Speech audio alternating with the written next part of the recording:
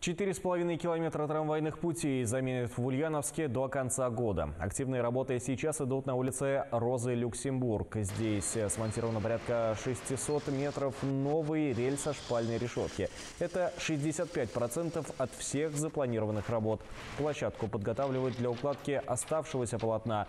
На перекрестке с улицей Докучаева замена рельс идет в два этапа, чтобы не перекрывать движение автомобилей. В этом году мы э, заменили порядка двух с половиной километров на улице Робеспьера, Верхняя Полевая и Можайского.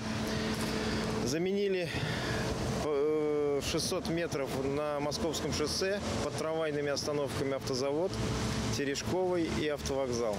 Кроме того, мы заменили значит, э, рельсы под э, перекрестком 50 лет в ЛКСМ Московское шоссе.